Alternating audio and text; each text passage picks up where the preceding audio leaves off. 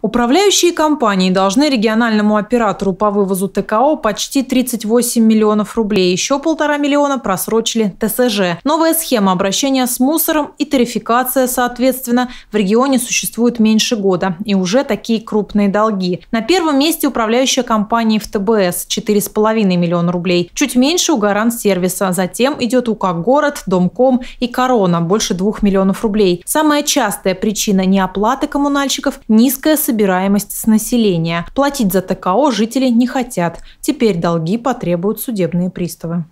В данный момент ведется активная претензионно-исковая работа. Более 45 материалов уже находятся в суде. Остальные материалы в ближайшее время будут подготовлены также направлены в суд для принудительного взыскания задолженности. Кроме того, данные управляющие компании также понесут и дополнительные судебные издержки, которые на них отнесет суд в рамках вынесенного решения. На первоначальном этапе времени с ними встречаемся, проговариваем, из-за чего сложилась них такая ситуация, почему они являются должниками. И в каждом случае разбираемся индивидуально, приходим к каким-то общим решениям. Но зачастую приходится все равно обращаться в суд с целью принудительного взыскания данной задолженности.